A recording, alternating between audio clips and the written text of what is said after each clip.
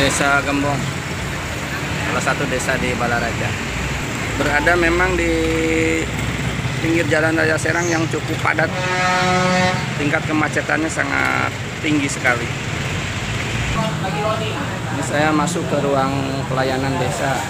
Ini suasana desanya ini ruang pelayanan desanya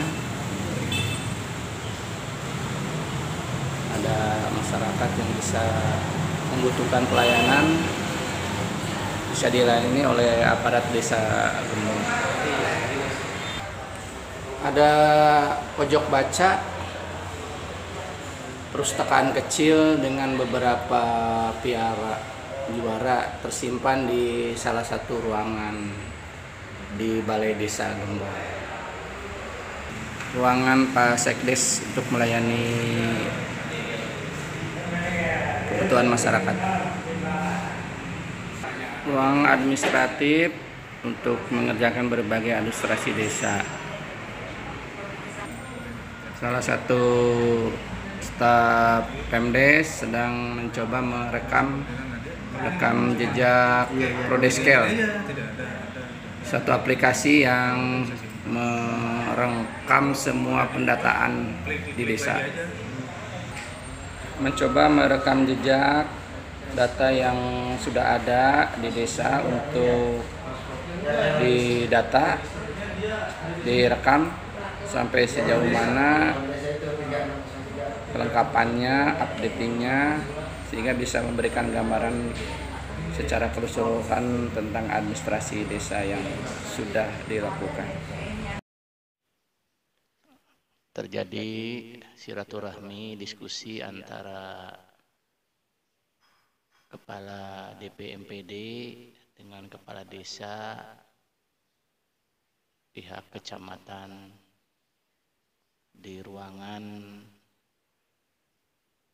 kepala desa Gembong berlangsung secara akrab komunikatif dan lancar. Ini salah satu gedung ruangan yang ada di Desa Gembong. Ini dari informasi yang saya peroleh, ini punya puskesmas. Hari kami sama beliau mengulas tentang kampung binaannya. Itu harus ya. Kami banyak poin di sana, nanti kami akan kita bawa ke sana semua. Ini artinya ternyata perjalanan mabuk pak ke sana. Dua orang nggak bisa keluar hotel. Stres dia pulangnya ke teknis ini memang kan arahan Pak Jokowi Pak Presiden untuk dana desa. Itu lebih kepada meningkatkan ekonomi masyarakat. Dan mereka reklamasi itu tiga satu di antaranya adalah bagaimana menciptakan suatu wilayah lingkungan di sana bisa uh, dalam rangka untuk meningkatkan usaha hmm. masyarakat. Yeah. Jadi tidak usahanya enggak enggak enggak enggak, enggak harus yang bonapi. Hmm. Ya, ada yang Betul. ada satu usaha. Nah ini aulanya. Ya. Sudah direnovasi sebelumnya tidak seperti ini cukup luas.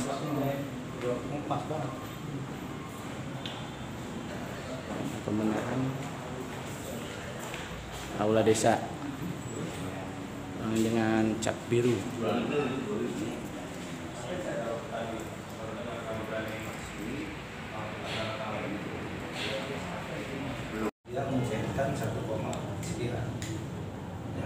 Logika saya berarti yang yang ketiga hanya dilaksanakan paling 300 cetak. Kalau itu betul dilaksanakan karena yang 800 itu menutupi kelihatan yang tidak dilaksanakan di belakang. Ini sekretariat BPD. Kita akan coba ngobrol-ngobrol dengan pengurusnya. Instruktur organisasi BPD ya kita akan coba ngobrol-ngobrol dengan salah seorang pengurusnya. Sampai sejauh mana peran BPD dalam membantu memajukan desa.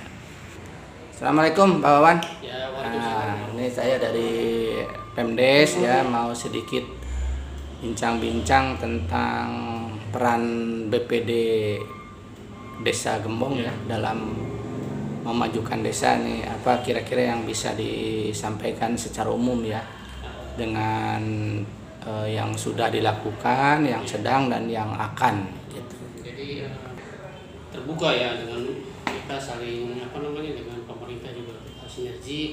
Karena apa yang ditetapkan oleh pemerintah desa itu kita pun turut membantu kan ya Ya. seperti yang sudah-sudah kita mulai awali dari kemarin pilkades ya. Ya. alhamdulillah kita sudah berjalan dengan baik kondusif aman kan gitu.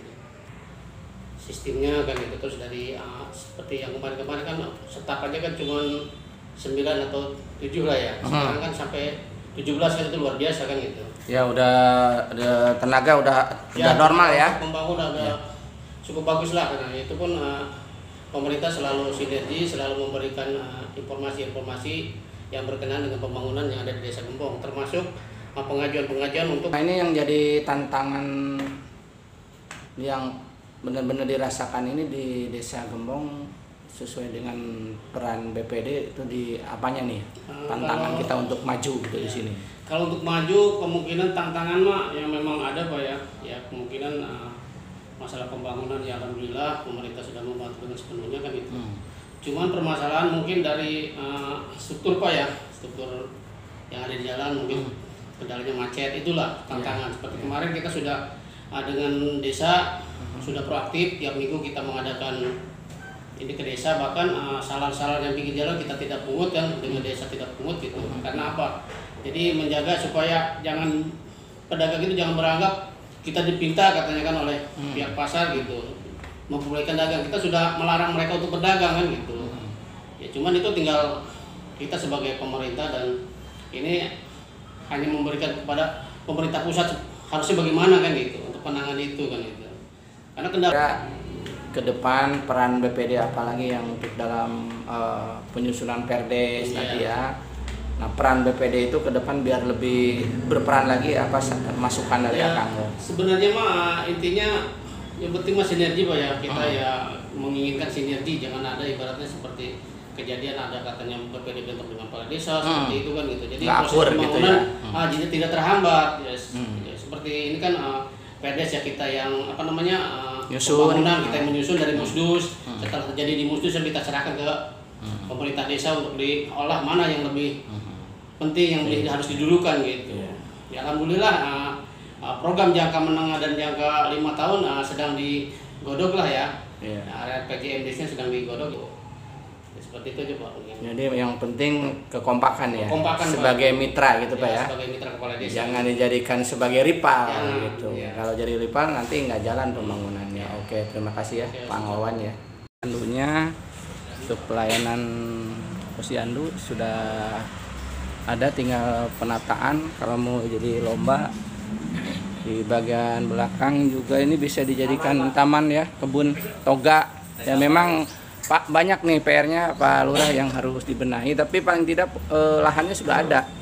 Potensinya sudah ada. Tadi saya juga lihat gedungnya di situ Pak, Pak Kades ya yang puskesmas ya nah itu lahannya eh, cukup mungkin itu mah harus renovasi total Itu gitu rencana kami Hmm.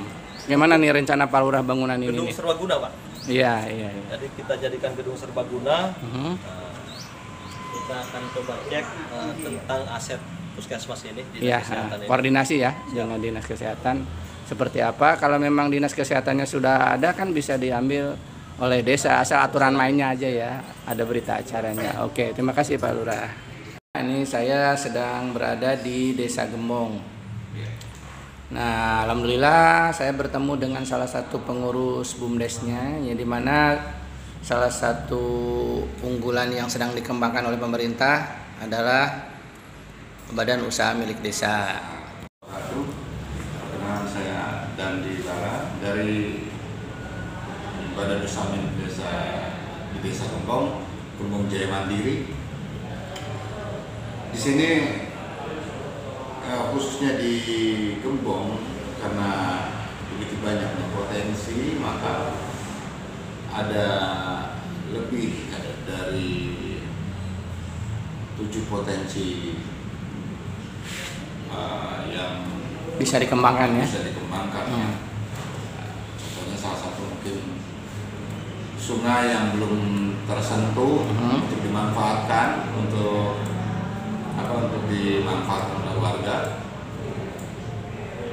Nah itu kami akan membuat sebuah warga masyarakat desa Gembong yaitu pedagang kreatif. Pedagang kreatif itu jadi mereka membuat banyak sekali produk makanan, olahan makanan Kuliner berarti ya, Kuliner. khasnya kuliner. keripik. Yang khasnya banget untuk Gembong apa tuh? Yang jagoannya? Di sini di Gembong banyak sekali jual keripik dari apa daun lijo dan daun bayam Hmm. yang selama ini sama juga belut ya Mm-mm. yang selama ini dijual keluar orang tahunya seperti itu Yang berasal dari yang sini. berasal dari Gembong maka dari ini di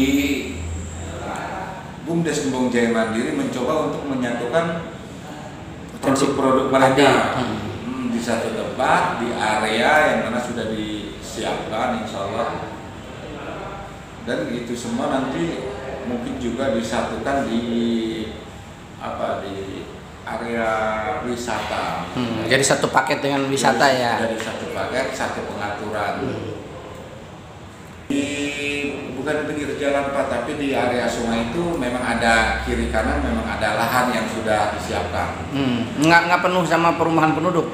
Nggak, Ya, tingkat memang- sepadannya kosong, Iya. udah kosong. sudah kosong Hmm. sudah di kita berkoordinasi dengan uh, Menteri Pengairan Mhm. dan apa pemanfaatan lahan itu sekitar 2000 meter kita akan pakai Kiri kanan itu ya kiri kanan kita menyimpan perahu berdasarkan untuk wisata airnya ya. studi kemarin dari Hmm. di apa di Jawa sudah berjalan di sana Hmm. bagus sekali antusiasnya bagus dari warga dan semuanya juga Insya Allah ini menjadi salah satu destinasi Wisata. yang terbaru gitu, gitu ya Hmm. banyak yang Hmm. yang terbaru dan jadi pusat kuliner desa Gembong Konsepnya ya Kang ya, konsep wisata air berarti berpadu dengan kuliner ya. betul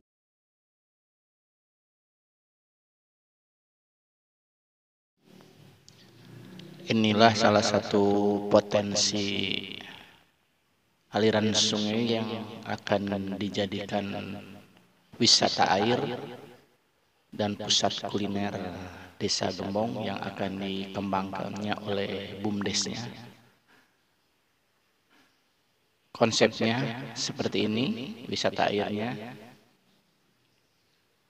Kemudian akan dikembangkan menjadi sarana wisata untuk anak-anak dipadukan dengan kebun dan kuliner. mudah-mudahan menjadi salah satu andalan desa Gembong dan Kabupaten Tangerang